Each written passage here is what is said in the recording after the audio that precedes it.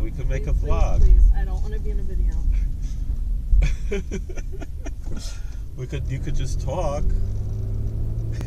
I've been talking a lot about how how the hats we wear represent flying saucers.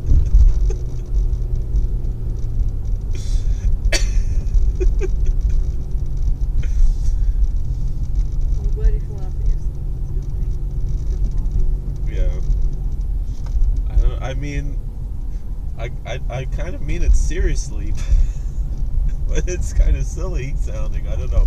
I mean, there's um in the Pri Tzadik and and Pri Tzadik for Shushan Purim, he talks about how the shtreimel represents the crowns of Torah that were given by Na'aseh V'Nishma, and uh, after the Chet Egel, the golden calf, yeah,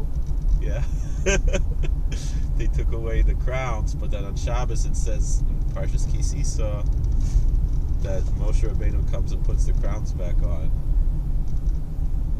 I don't know. What do you what do you think about that? So that's why the the shtreimel looks different than the week they had because Shabbos it's a different bechina. It's the crown crown of the of Na'aseh V'Nishma.